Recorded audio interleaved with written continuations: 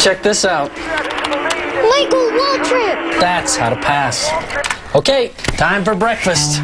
Come and get it. You know, Dad, the secret to passing is drafting. The lead car displaces air, creating a vacuum that can actually slingshot the second car past it. Where'd you guys learn all this? Friends.